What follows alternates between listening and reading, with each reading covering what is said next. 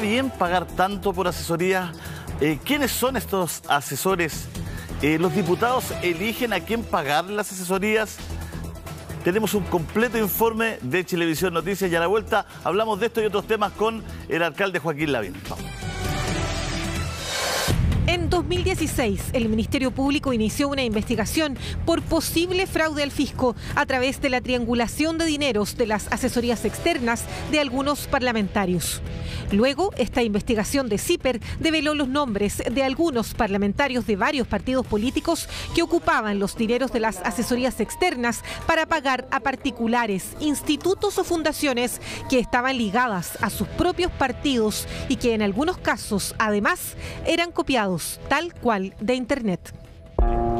Cuatro años han pasado desde que se inició esta investigación, no solo por los informes plagiados, sino también por la posible triangulación de dineros entre los parlamentarios y entidades y personas vinculadas a sus partidos, quienes han tenido que enfrentar a los tribunales de justicia hay un incentivo de no meterse con estas altas autoridades porque el día de mañana entonces pueden obviamente torpedear su ascenso en la institución. El Ministerio Público solo informa que la investigación sigue abierta, pero mientras tanto, al menos una bancada de diputados mantiene un contrato millonario con una fundación que está estrechamente ligada a su partido y a la que mensualmente traspasan dineros del Estado por informes que son iguales. 20 parlamentarios tienen el mismo informe. El mismo. El mismo. Y cada uno pagó por ese mismo informe.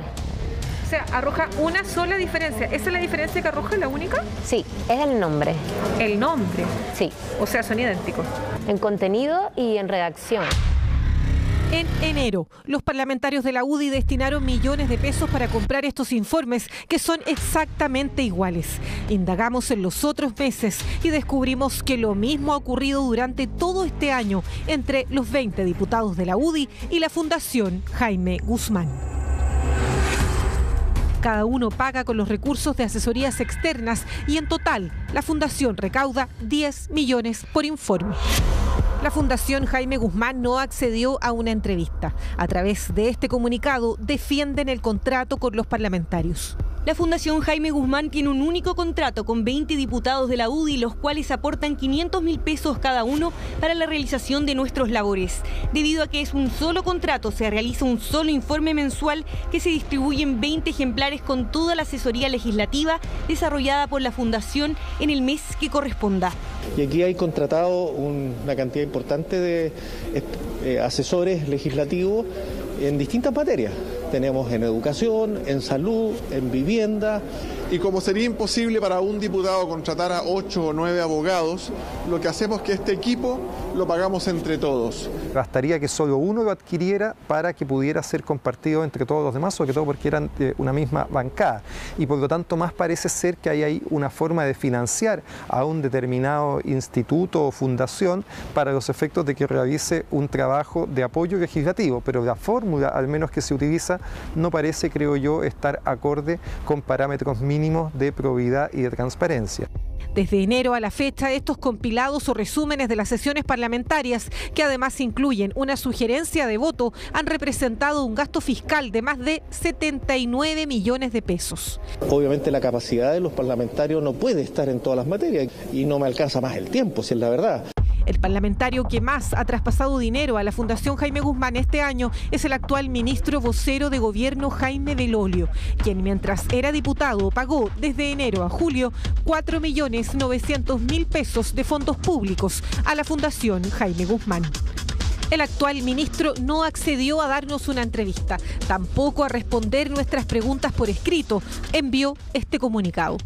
Los trabajos encargados al área legislativa de la Fundación Jaime Guzmán cumplen absolutamente las disposiciones y exigencias de la Cámara de Diputados y sus asesorías, cuyos informes fueron entregados en tiempo y forma, respondían enteramente a lo requerido. ¿Cuál es el aporte real de los informes mensuales por los cuales los diputados de la UDI siguen pagando a la fundación vinculada a su partido? En el índice están los cuatro proyectos de ley que estamos discutiendo.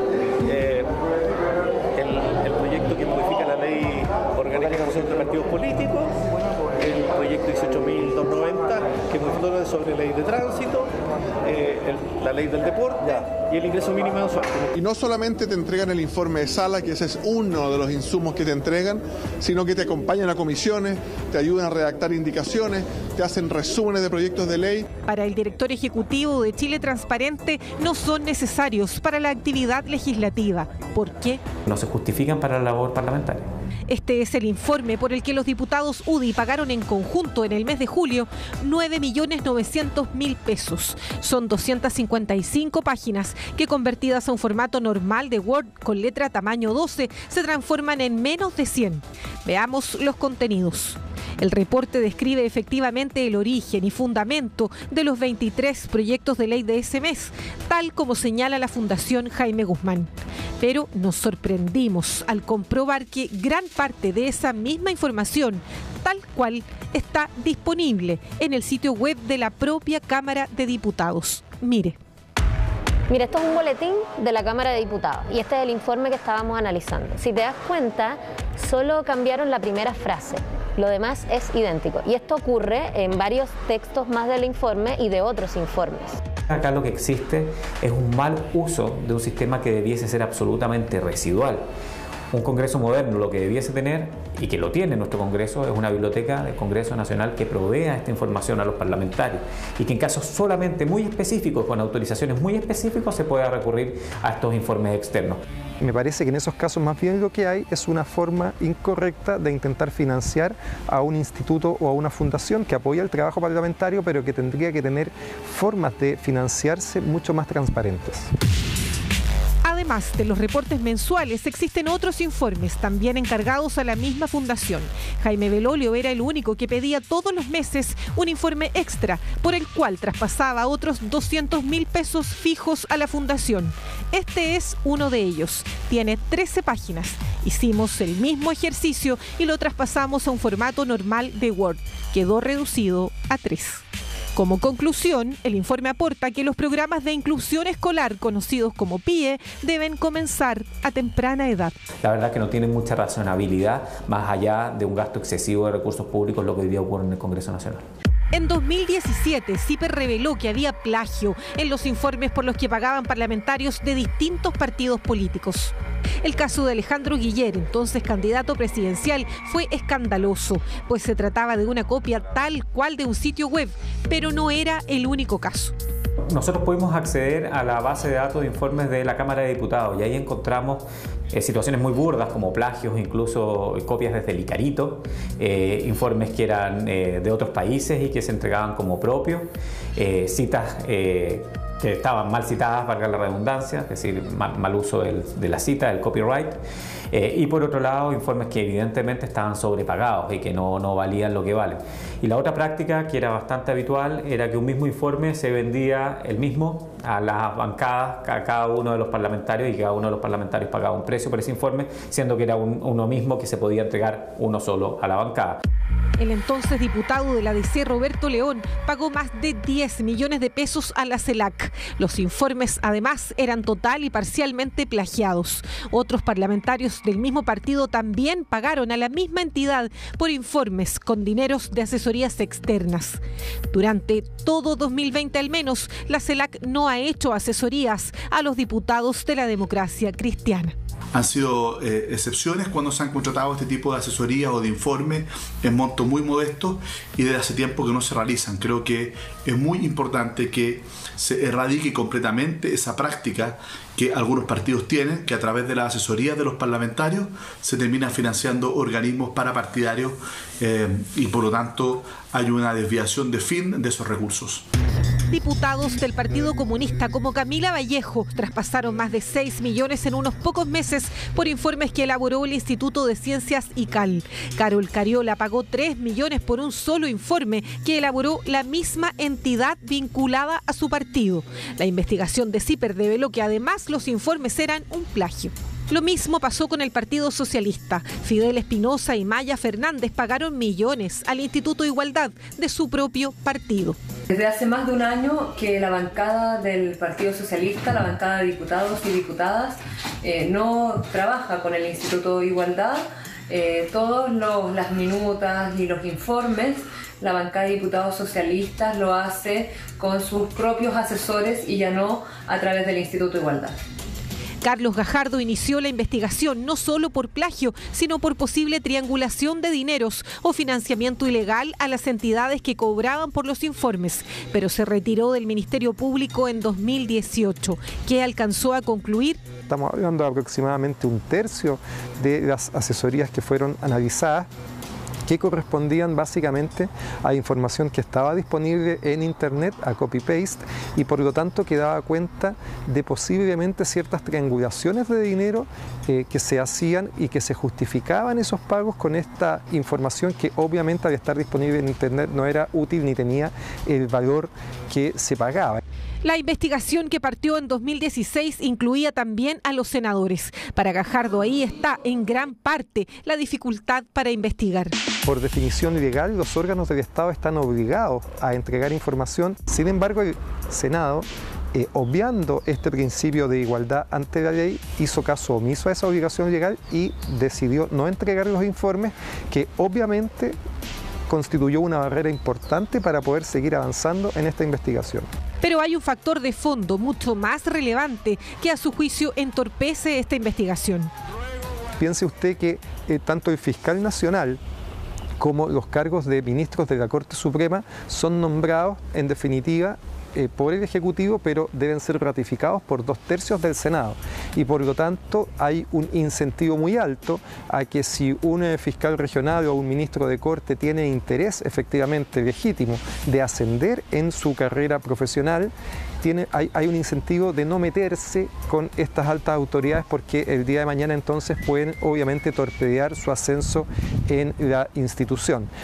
Quisimos conocer cuáles son los avances de la investigación por los informes plagiados de los diputados y por la posible triangulación de dineros, pero el fiscal a cargo del caso no aceptó nuestra entrevista, solo nos confirmó que no hay ningún formalizado y tampoco personas imputadas desde marzo de 2018, fecha desde la que está disponible la información. Los 20 diputados de la bancada UDI, que mes a mes hacen que el Congreso pague por un mismo informe, han traspasado hasta ahora más de 300 millones de pesos de fondos fiscales a la fundación vinculada a su propio partido. Para poder tener participación en el debate y una discusión enriquecedora que pueda presentar indicaciones o modificaciones para que la ley salga bien. Y es por eso que esta me parece que es una, un dinero muy bien invertido por, por todos los diputados de la, de la bancada. Por ley, cada diputado de todos los partidos políticos tiene un sueldo bruto que supera los 7 millones de pesos. A eso se suman más de 4 millones para pagar arriendos de oficinas distritales, correspondencia, traslados, difusión de sus actividades parlamentarias y hasta las cuentas de telefonía. Aparte de eso, el Estado aporta otros 4 millones y medio más para que los diputados elijan a su personal de apoyo, que entre otras funciones debe asesorarlos comunicacional y legislativamente. Por encima de eso y en un tercer ítem están los dineros de las asesorías externas, casi 2 millones de pesos que por definición deberían financiar estudios muy específicos sobre materias que permitan legislar. El sistema que hoy día existe, que es mediante el cual se le asigna a cada parlamentario un monto determinado de dinero anual que puede gastar en determinadas eh, asesorías que él determina, en la práctica lo que contribuye es a hacer un sistema, diría yo, poco transparente y que permite favorecer la confección y el encargo de informes que probablemente en muchos casos no son reales y que tienen como objetivo, como trasfondo, terminar efectuando transacciones de dinero. Tenemos algunos casos, como el caso del senador Orpi, el caso eh, de la diputada Isasi, eh, donde hemos visto mal uso de asignaciones parlamentarias en términos generales y esos casos están hoy día para, para juicio oral, están avanzando, pero el avance ha sido profundamente lento y creo que el Ministerio Público tiene que ser más proactivo en que efectivamente dé respuesta eh, a un tema tan sensible como eh, el uso de los recursos del Congreso Nacional, cuando el Congreso Nacional es una institución tan importante, lo hemos visto en la crisis social, lo importante que es el Congreso Nacional y requiere una validación ciudadana que no deje duda de que esos recursos están siendo bien utilizados. En los últimos días, el Ministerio Público ordenó la incautación de boletas y otros documentos de contabilidad desde el Instituto Libertad, en el marco de la misma investigación por los dineros de las asesorías parlamentarias. 11 con 16 minutos de la mañana, entonces una investigación que no es primera vez eh, que se habla de estas eh, asesorías fantasmas, podríamos decir. Eso, en este caso, la investigación entonces eh, que lleva adelante Chilevisión con la investigación base de, de Ciper Chile, que nos habla de que 20 diputados SUDI pagan por informes y estos informes son el mismo, el mismo informe que se le entrega a cada uno de estos 20 diputados y cada uno paga 500 mil pesos por concepto de asesoría, siendo que es el mismo informe. Por eso se habla que es una forma de financiamiento de la Fundación Jaime Guzmán, de su área legal, que es la que realiza estos informes. Pero Julio, no es primera vez eh, que se realiza una denuncia de este tipo. Recordemos que para la campaña presidencial hubo eh, la misma situación respecto a informes del Senado y eh, hubo toda una controversia porque Andrés Saldívar, quien era presidente del Senado, se oponía a entregar el contenido de estos informes. Así es, pues, y, se, encontraron algunos que eran igualitos, ¿no es cierto?, informes de Google o a otros informes. Eh, a ver, aquí el tema de fondo también es a quién uno le pide el informe. Porque en el fondo, ¿qué es lo que hay acá? ¿Cuál es la sospecha de que los parlamentarios de la, de la UDI le traspasan 10 millones mensuales a la Fundación Jaime Guzmán? Ah, y, para eso, ¿cómo se hace con este informe? ¿no? Este informe que se divide en 20. Entonces, ¿financian realmente los parlamentarios de la UDI de la Fundación Jaime Guzmán? Esa es la gran pregunta. Eh, los parlamentarios tienen que financiar de esta forma a sus fundaciones, a sus centros de estudio, donde trabajan, ¿no es cierto?, algunos, eh, eh, alguna gente del partido, ¿no es cierto?, claro. afín. bueno, en honor a la verdad, esto no solo lo hace la UDI, ¿no? digamos que, como bien decía la se lo han hecho otros partidos, tienen otras fundaciones. ¿Por qué esta plata? ¿Por qué estos asesores? Es una pregunta que está ahí porque son platas públicas que van más abajo del sueldo, más abajo de la plata que ellos tienen para contratar eh, funcionarios. claro, hay un millón setecientos mil pesos al mes asignado para contratar asesorías. Asesoría. Y esto, de estos informes, en el caso para eh, elaborados por la Fundación Jaime Guzmán, se meten al interior del presupuesto en este, en este ítem.